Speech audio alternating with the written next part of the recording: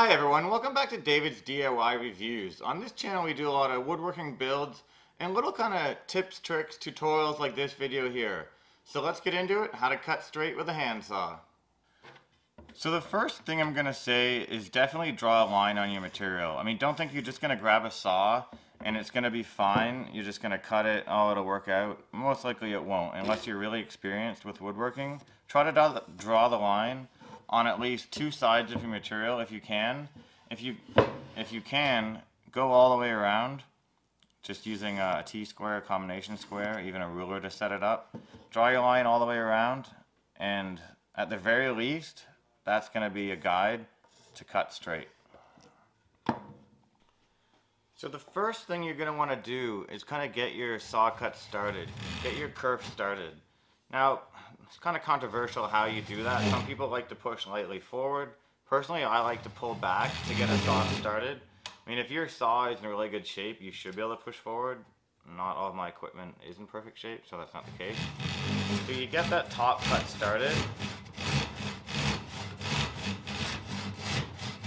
And at this point, it's really important to remember that your first, you know, 5, 10, 15 saw strokes, that's going to set the course for your cut through the whole piece. At this point, uh, one technique a lot of people use is they'll get that top cut made, they'll reclamp their piece of material this way, and as you cut down through, that kerf you created will guide the saw. Uh, that's a way that I, I tend to use with like a thicker piece of wood.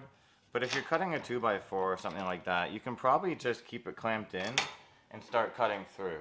So we'll go ahead and I'll show you how to do that. It's always important to remember too, the closer you cut to your clamping system, the less it's going to move and the better it's going to be. So we'll go ahead and we'll continue this cut.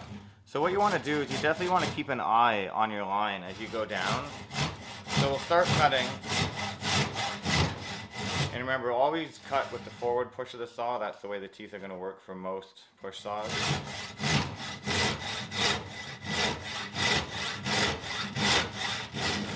And if you find, oh, I'm, you know, I'm making my cut, it's starting to go off the line.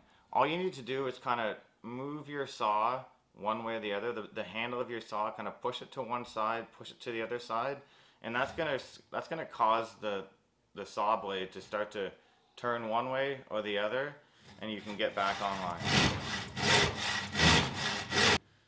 And as you're making your cut, always try to keep your arm in line with your shoulder. Nice straight strokes.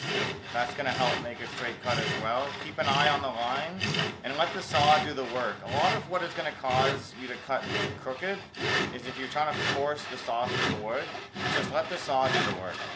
Another thing I see sometimes also is, you know, people are cutting something, they get all the way to the end of the cut, and then they kind of, oh, I'm almost there, I'll just give her and forget to pay attention, and all of a sudden your line goes crooked. Make sure you're paying attention all the way to the end, following your line, and it'll be nice and straight. And I know sometimes even for beginners, you know, that method, it's easier said than done. Another good trick you can do is actually clamp a piece of wood right next to the line you're going to cut, and then you can actually just follow right along that, and that pretty much almost guarantees your cut is going to be perfect.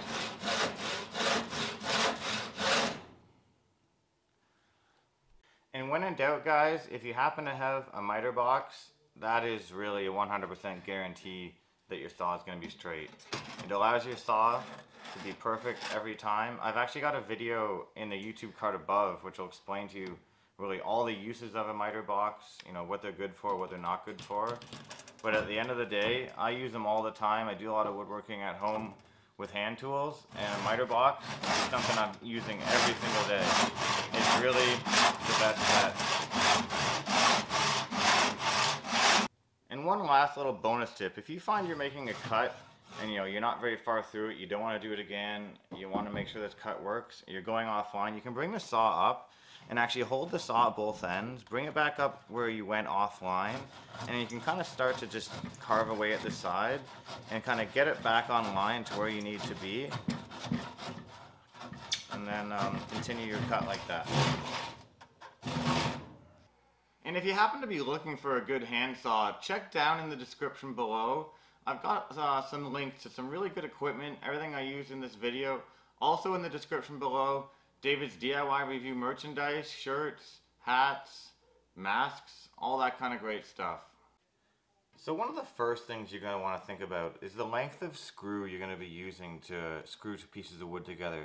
You want to make sure that the screw isn't going to stick past the end of the second piece of wood you're screwing to or whatever it is you're screwing into. So like this screw here would be a little bit too long. You'd probably want to go with, you know, something that almost goes through your second piece but not quite. And that's going to give a lot of good bite to hold them together. The next thing to think about is the screw itself. If you're, you know, screwing like a thicker piece of wood like this into another piece, you're going to want a screw that has a decent sized collar on the top or the shank that's the part that doesn't have any threads on it, so that when you screw into the second piece, it allows to bite into the second piece, but it's not just spinning the threads in the first. If you have threads all the way top, sometimes what that causes is the pieces to spread apart. You might have run into this in the past. As you screw in, it will separate the pieces. Having a collar on the top like this, that's blank, that'll allow it to tighten right up tight.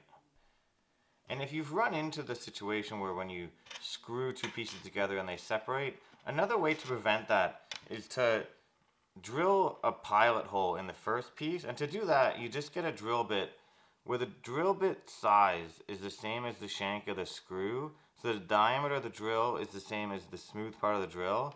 And then you drill into the first piece, and I'll show you how to do that now. So all we would do is just drill a pilot hole through the first piece, like this. Line it up with your second piece and then drill through into it and that's going to help keep it nice and tight. So you could just kind of quickly deburr your first piece that you screwed. Grab your bit and you'll notice now when you screw it together that uh, it goes together nice and snug. So you start to separate but then it tightens right up. And that brings me to my next point. As I screwed this in, it didn't split the end, but it just, just barely started to split right there. And I'll show you a, a really handy trick to prevent that from happening. If you're going to be screwing right near the end of a piece of wood, or like a hardwood like this, this is maple, and you're worried about it splitting, what you can do is drill a hole, not the size of the shank, but you could drill a through hole that's the entire size of the threads, or even slightly bigger than the threads of the screw. That way, the screw will go clear through the first piece and just tighten up on the second one. So once again, we would just go ahead and drill the first piece, kind of offset it a little bit so you don't drill into your second one. And you could drill all the way through, and this is maple, so it's a little tougher to drill. Drill a, a clear hole all the way through.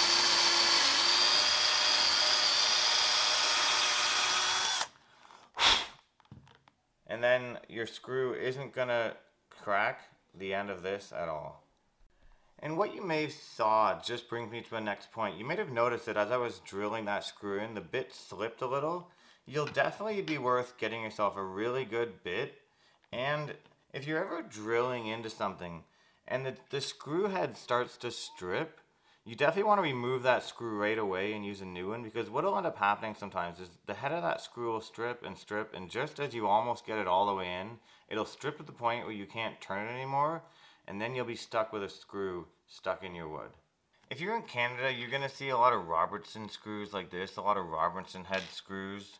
Uh, this is a, a bigger black Robertson. These are the red Robertsons. In the States, you're going to see a lot of uh, Phillips and Torx and even flathead sometimes. Um, other places in the world, you're going to see a lot of Robertson, a lot of Torx. Definitely, you don't really want to go with Phillips. They're going to tend to strip out a lot. Another handy trick, if you wanted to screw, let's say this 2x4 onto that 2x4, you don't really have any way to go it. You'd want to kind of put the screws in on an angle like this. And the easy way to do that is you can just take your drill bit and your drill and you can screw, or I should say drill, you just start drilling in a little bit like this, pull your drill bit out, and then you can kind of go on an angle like this, drill through, and that's going to allow your screw, when you screw it in, to go right into the piece of wood. I'll show you what I mean. So once you've got that hole drilled, deburr it a little bit, grab your screw, get it started in here, and then as you can see, that's going to allow this screw to go right into that 2x4 like that. You could do two of them side by side, and that makes a really strong joint. Once again, for a finished piece, you could countersink this hole, and then it would be really flush and it would look just perfect. And if you wanted, you could pre-drill, you know, every hole, and it, it's always going to work perfect. For, for just 2x4s or something like this, don't be afraid just to go ahead and drive your screws right in right off the bat. Just make sure you're pressing down really hard. Kind of go slow to start, even slow the whole way, and that's going to ensure that the screw goes in really well and really tight. If you happen to be screwing something together like this, just pay attention to when you screw in that you're not to one side or the other because that's going to cause this to split out. You're definitely going to want to make sure that your screw is right centered in the middle so that way when you screw it in, it doesn't split this out either way. So you just would line it up nice and good like that and screw it in. Just like that. And if any situation you find that when you put a screw in, it tightens up and then it starts to get loose, that means it's stripped out in the bottom piece. You're going to want to remove that and move your screw over and get a fresh bite in a different spot. Otherwise your pieces aren't going to stay together. And for a really, really tight, solid, you know, permanent connection, definitely think about gluing and screwing together. And that's going to be, you know, kind of the ultimate joint that you're ever going to have. So the first and probably most important thing about gluing boards edge to edge is to have the edge of the board perfectly flat and square. And you're going to want to make sure that the edges are 90 degree to the face. And for shorter boards like this, you could probably get away with a table saw or just buying flat stock. But for longer boards, you're probably going to want to use a jointer or maybe set up a, a jointing system on your table saw but for small kind of DIY like this, you can probably just run them through a rip saw or like I said, buy straight flat stock and it's going to be good enough. Another thing to think about is composing your board. That, that is, um, you know, matching the grain up. If you're going to be staining the wood, you're going to want to match the grain in such a way that when you stain it up, it looks like kind of one continuous grain. I'm going to be painting this, so I'm not too worried about it. So, you know, it, that's kind of something that depends on the project that you're building. Another thing to think about if you're doing multiple boards or wider boards is sometimes the end grain is going to have a circular pattern in it, kind of like this one. And if you have boards like that, you're going to want to alternate them, you know, up and down the way that the circle rotates across your board. With this little uh, boards like this, it probably isn't going to make too much of a difference though.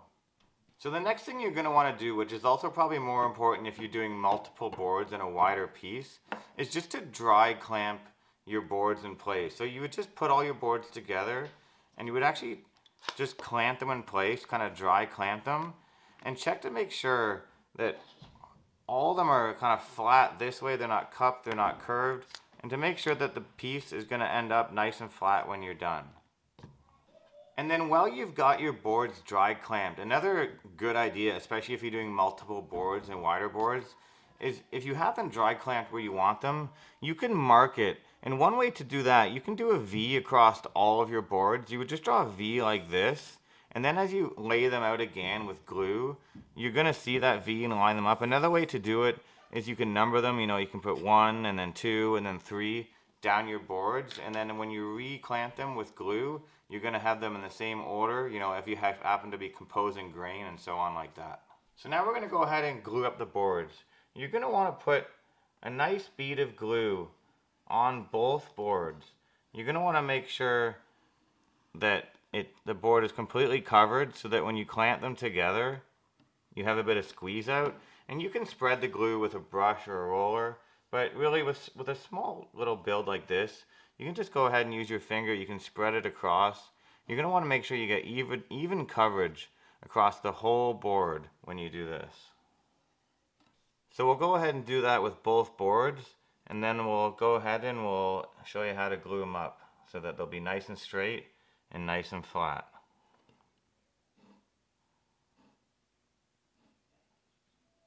Just like that. So you're going to want a nice flat surface to glue these up on and what you want to do is just lay them down and just work them together just a little bit kind of back and forth like this with your hands and that's gonna kind of work them really tight together. Then you're gonna want to get them just lined up using your lines if you use them. If not just like I'm gonna cut these after I've got it glued together so I'm not too worried about the ends. And they're gonna want to go ahead and carefully clamp them up. Just do a, a light clamp on one end just a light clamp on the other end. And you can use, if you're doing longer boards or like really wide boards or a big build, you'd want to get some nice long bar clamps. But for a little kind of DIY like this, you don't really need that. And as you can see, the glue is starting to squeeze out. That That's a good thing. That means that you've got good coverage and that the glue is on the entire surface of both sides. So we'll just clamp that up like that, make sure it's nice and flat. And we'll leave that for about 15 minutes and then by that time, the, the glue will kind of start to gum up and we can just scrape that off with a razor blade or like a putty knife or a chisel or whatever you might have. And if you prefer to get the glue off ahead of time, you can also wipe the glue off with a wet rag. That'll work as well. So I've got my glue uh, wiped off and scraped off. It's been about two hours. After one to two hours with a good wood glue, you can definitely remove your clamps and move on with your project but it's going to take a full 24 hours for it to totally set. So we'll take the clamps off here and we'll see how we did. I mean, we basically took two really short, narrow boards and now we've got a nice wide plank for the project that I'm going to be working on. You know, it's really easy, it's really simple. A lot of people are kind of scared to get into gluing up boards like this, but it's really not a big deal. And if you're just starting out, you don't have to work on a whole wide board. Do a couple, like three three sets of two, and then glue them together. You know, whatever whatever your skill level level is at, it, it's not a big deal. It, it's really easy. It's really quick, and it, it really kind of raises the horizons of what you can do with you know woodworking and DIY. Today I'm going to show you a little trick called the 3-4-5 triangle or the Pythagorean theorem. It's a little trick that you can use to check almost any corner that you want to be square to make sure that it's 90 degrees. I'm going to show you now. So the theory of this triangle is if you have a triangle that measures 3, 4, 5 equally in you know any increment of measurements, this corner here, the one that's 90, will be exactly 90 degrees. So here I've got a triangle drawn to square that is 3 inches by 4 inches by 5 inches. And as you can see, this corner right here is going to be perfectly 90 degrees. It's a really, really useful tip. I'll show you how you really put it to use right now. So how you would go about using this little technique in real world examples would be, let's say this was a deck you were laying out. So you're trying to get the corner of your deck 90 and you've got one side of the deck fastened down, it can't move, but this side you haven't started yet, you can still move it. So what you would do is you would measure out, let's say, three meters, three feet, or you can multiply that, multiply them out to anything. You could do, you know, six, or you could do 12. So let's say you measure out three feet, three meters, whichever it's going to be, you mark it. Then what you do is you move this back and forth like that until the measurement of this side of the triangle is 5 or 10 or 15 or however you've gone about it. So you do 3 and then you measure 4 across here, put a mark, you put your tape or string line, whatever it is you're going to use, and you move this in and out like this until this measurement is 10. And then you've got your 3, 4, 5, or you know, 6, 8, 10 triangle. And once you've got that, this corner is going to be exactly 90. And of course, the same thing works in metric and imperial. Like this is a uh, three, four, five millimeter triangle, you can multiply that out to however big you need it to be. This is a 12, 16, 20 millimeter triangle, and that corner will be 90 degrees. Same with inches, multiply it out. If, if 3, 4, 5 doesn't work, if it's too small, you need to go bigger because it's a bigger you know, corner that you're trying to get 90, you go 6, 8, 10. You multiply it out however you need to for it to work. And like I said, the key is to move these sides back and forth. Once you've got your three marked, your four marked, you move the sides back and forth until this is five. That's the key to making this technique work. And if you're trying to figure this technique out, you know, from the beginning, do it on paper like I've shown in these diagrams. That's really the key. The key is going to be to do it on paper first and kind of get it figured out and then use it in kind of real world examples. So I've got a board here that appears to be about 7 and what looks like 9 30 seconds of an inch. Now if I want to divide this board into even parts, how am I going to go about doing that? How am I going to break down that measurement into fractions and mark that on a tape measure? It's going to be nearly impossible. And I've got an easy way to do that.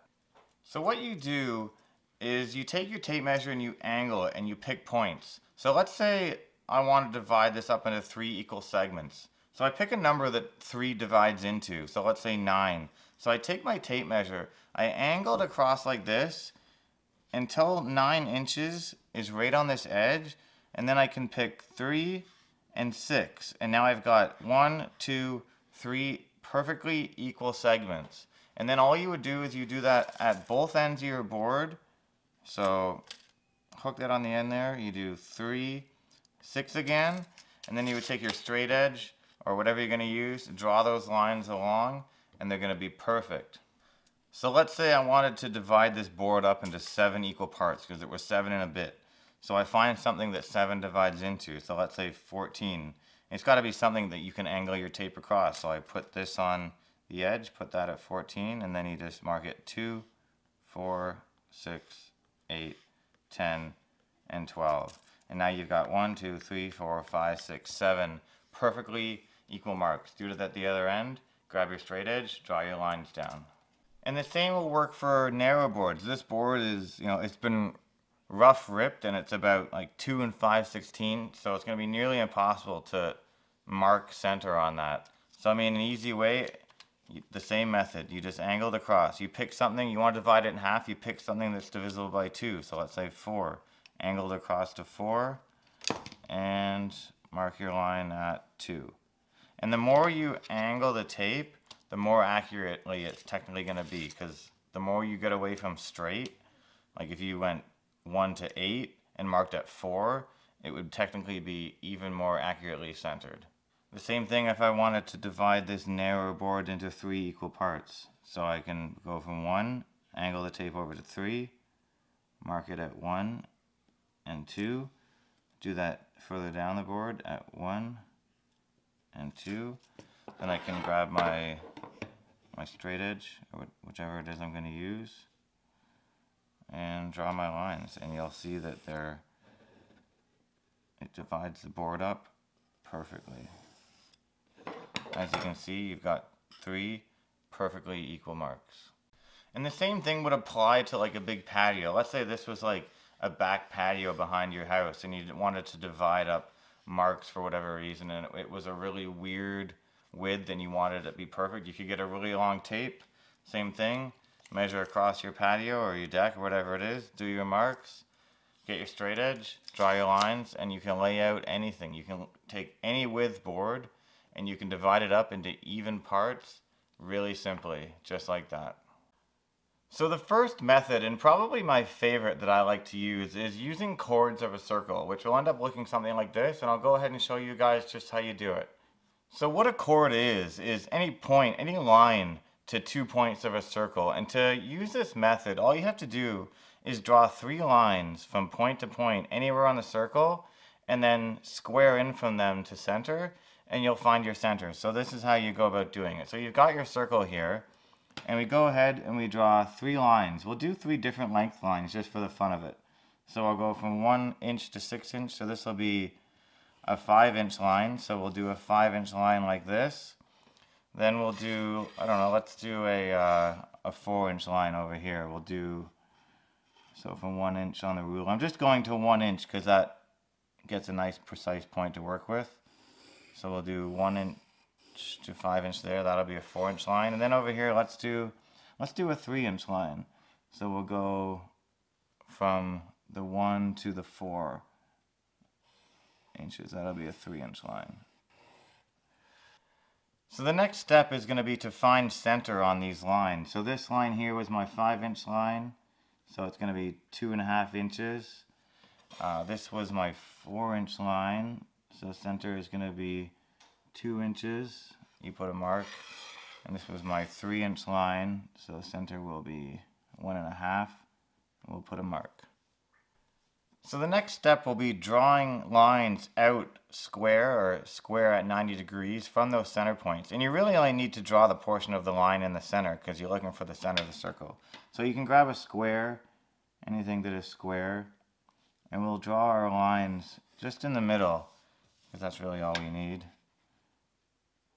Uh, you can you can actually use a piece of paper as a square too. If you didn't have a square of any kind, you can just grab a piece of paper and you can actually use that as a square. And now as you can see, we've got our three lines right in the middle here.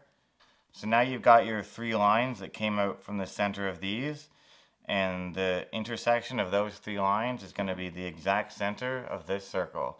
It's as simple as that. And this, like I say, this is probably my favorite method using those chords.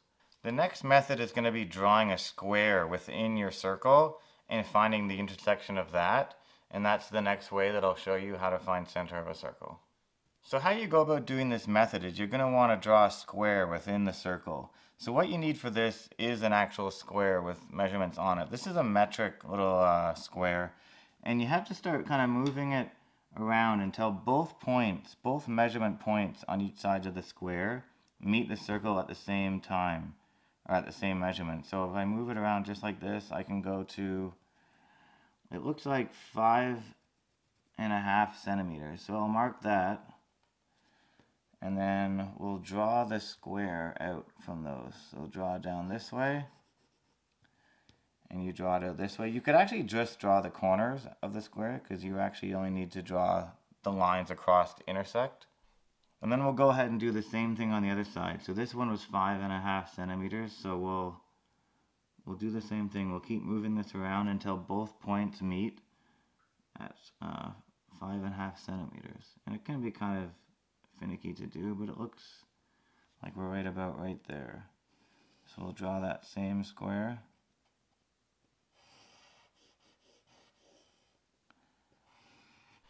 And then what you have to do, if, if your lines didn't quite meet both sides, you just meet up both uh, parts of that square like that.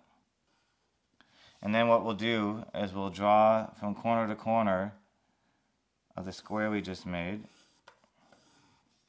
And the intersection of those two lines will be the exact center of that circle right there. And that's another really easy way to find center of a circle. So the third way is going to be to make a circle template. And what you actually do is whatever circle you're trying to find center of, if you can, trace that circle onto a piece of paper, you cut it out, and then you find center that way. And I'll go ahead and show you how to do that right now.